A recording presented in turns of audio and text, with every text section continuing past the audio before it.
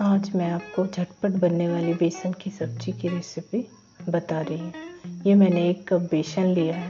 उसमें मैंने थोड़ा सा हल्दी डाला है और थोड़ी सी लाल मिर्च पाउडर डाल रही हूँ। इसमें मैं थोड़ी सी हींग डालूँगी।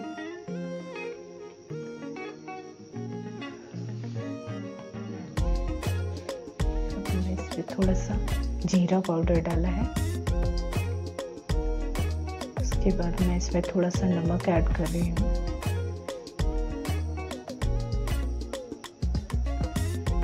इसमें थोड़ा सा ऑयल यूज़ किया है। और थोड़ा सा खाने वाला सोडा डाला है। इन सभी चीज़ों को इसमें मिक्स करके, उसके बाद मैं इसमें थोड़ा थोड़ा पानी डालूँगी और इसका एक घोल बनाऊँगी। डोसे का घोल के जैसा ही इसका एक घोल बना लेना है। अच्छे से फेंट लेना है ताकि इसमें कोई लम्स ना रहे और अच्छे मसाला और बेसन अच्छे से मिक्स हो जाए। उसके बाद मैं इधर तवा लिया है, उसमें थोड़ा सा ऑयल डालूँगी। तवा हमारा थोड़ा गर्म हो जाए और ऑयल को अच्छे से उसमें घुमाते हुए मिक्स कर देना है, मिला देना है ताकि चारों तरफ़ ऑयल लग जाए। इसके बाद मैं इसमें बेसन के घोल को डाल दूँगी। सारे बेसन के घोल को मैं इसमें डालूँगी और इसका थोड़ा मोटा चीला बना लूँगी।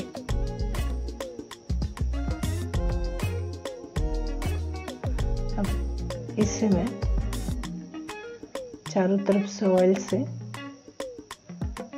मिला दूँगी ताकि हर तरफ़ से इसके साइड में ऑयल लग जाए। उसके बाद मैं इसे ढक दूँगी। पाँच मिनट मैं इसे ढक के पकाऊँगी। देखिए, ये इस तरह पक के रेडी हुआ है। मैं इसे पलट रही हूँ। ये देखिए, एक तरफ़ ये अच्छे से पक गया है, दूसरी तरफ़ भी मैं इसे पाँच मिनट के लिए ढक के पकाऊँगी, ताकि अच्छे से पक जाए।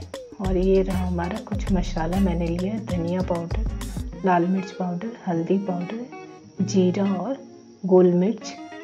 थोड़ा सा अदरक का टुकड़ा, थोड़ा दालचीनी और दो इलायची थोड़ा सा लहसुन की कलियाँ थोड़ा सरसों के दाने। और इन सभी मसालों को मैं अच्छे से मिक्सी जार में डाल के फाइन पेस्ट बना लूँगी। ये पेस्ट हमारा रेडी है। इधर हमारा चीला भी रेडी हो गया है।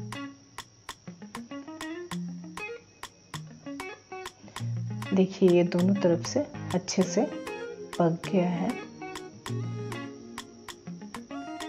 इधर मैंने कढ़ाई में ऑयल डाला है और उसमें मैं दो टीस्पून राई डालूँगी। राई जब हमारा अच्छे से चटक जाएगा, उसके बाद उसमें मैं सारे मसालों को ऐड करूँगी। राई हमारा चटक रहा है। इधर हमारा चीला भी रेडी हो रहा है। जीरा राई मेरा पूरी अच्छी तरह से चटक गया है। उसके बाद मैं इसमें पीसे हुए मसाले ऐड कर रही हूँ।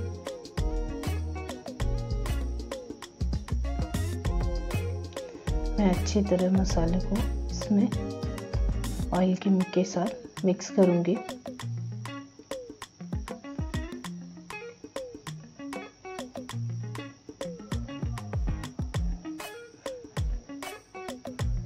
मैंने मिक्सी के जार में थोड़ा पानी डाल के उसे अच्छे से धो के उसके मसाले भी उसमें डाले थे।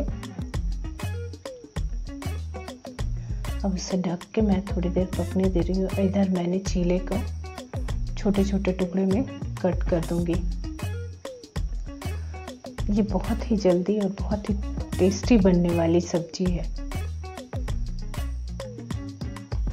ये टेस्ट, ये रेसिपी आप, मुझे नहीं लगता कि अभी कहीं और आपको देखने मिला हो। आप इसे ज़रूर ट्राई करें।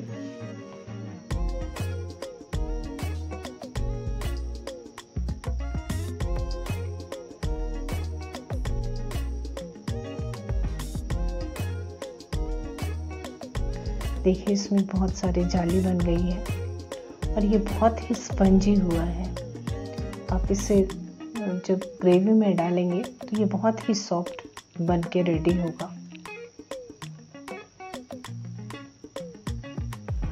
आप देख रहे हैं इसके सारे जाली इसमें आपको दिख रहा होगा। ग्रेवी इसके अंदर तक जाएगा और इसका टेस्ट और बढ़ाएगा। इधर देखिए मसाले भून रहे हैं। मैं एक चीज़ बोलना चाहूँगी। कि सरसों के मसालों को बहुत ज़्यादा नहीं भूनना चाहिए। क्योंकि बहुत ज़्यादा यदि सरसों के मसालों को आप भूनेंगे तो वो तीता हो जाता है। उसमें एक कड़वापन आ जाता है सरसों का। तो इसलिए इसे बहुत ज़्यादा ना भूने और इसे इन सारे मसालों को आप ग्रेवी के साथ पकाएँ। ऐसे मैंने इस, मैं इसमें पानी ऐड करूँगी क्योंकि ये ये सब्ज़ी का जो ग्रेवी है वो थोड़ा पतली होगी। और पतली ग्रेवी रहेगी और साथ में इसमें पानी डालने से क्या है? मैं आपको दिखा रही हूँ ये कितना थिक होगा। ये देखिए, इस टाइप का। इस तरह से इस घोल को बना के रखना है। और इसे मैं ढक दूँगी। ढक के मैं इसे पाँच मिनट तक अच्छे से बॉईल होने दूँगी और मसाले को पानी के साथ ही पक, पकने दूँगी। तो आप देख रहे हैं, ये ना भूनने में बहुत ज़्यादा प्रोसेस लगा और ना हमारा चीला बनाने में उतना बहुत ज़्यादा प्रोसेस है। तो ये इजी वे में और बहुत ही टेस्टी बनी हुई सब्ज़ी है। आप एक बार ज़रूर ट्राई करें। मैं हमेशा आपको यही बोलती हूँ, अब मैंने इसमें बेसन के सारे क्यूब्स डाल दिए। मैं हमेशा आपको बोलती हूँ कि आप इसे ज़रूर ट्राई करें। मैं इसलिए आप सबसे ये बोलती हूँ, क्योंकि जब तक आप ट्राई नहीं करेंगे, आपको कैसे पता चलेगा कि ये रेसिपी कैसी है? इसलिए आप ज़रूर ट्राई करें।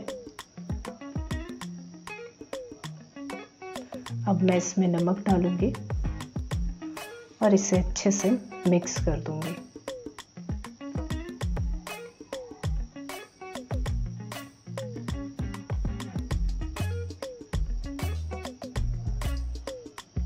मैंने बेसन के चीले में भी नमक डाला था तो आप देख के, फिर इस नमक बाद में चख के फिर यदि कम हो तो ज़्यादा और डाल सकते हैं।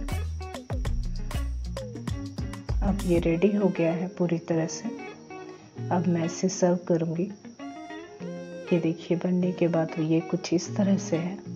शायद आपको दिख रहा होगा, ये क्यूब जो है वो काफ़ी हल्की बनी है।